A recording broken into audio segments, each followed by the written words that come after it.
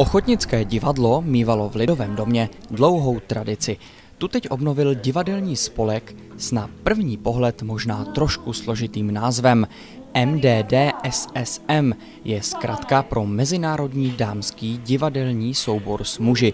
Oproti tomu, co by se na první pohled mohlo zdát, v něm paradoxně převažují muži.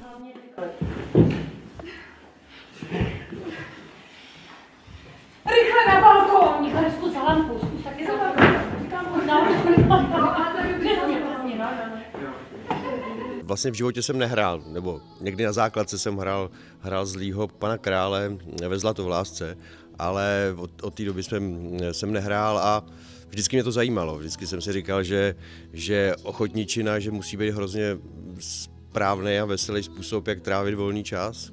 A když mě zavolala Bára s Markétou, jestli bych to nechtěl zkusit, tak, tak jsem hnedka souhlasil. Soubor vede Bára s Markétou. I když volného času není nikdy dost, přesto se divadelníkům daří scházet se každý čtvrtek v Lidovém domě, který mají odradnice k dispozici zdarma. My jsme je zastihli na víkendovém soustředění, taktéž v Lidovém domě, kde zkoušeli na svoji první velkou premiéru. Budeme hrát procházku v hru Antonína Procházky přes přísný zákaz dotýká se sněhu.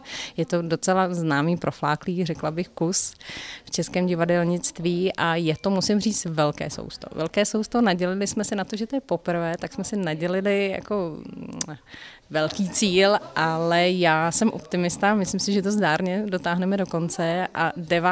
ledna máme tady v Lidovém domě ve Kbelích premiéru, takže tímto bych vás i ráda pozvala. Četl jste knihu Odejít z noblesou?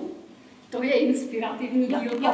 Profesor Tesach popisuje případ muže, který skočil na spuštěný kotouč pily. Komediální hra je určená pro dospělé a vypráví o tom, co se stane, když se manžel nečekaně vrátí dřív z vězení.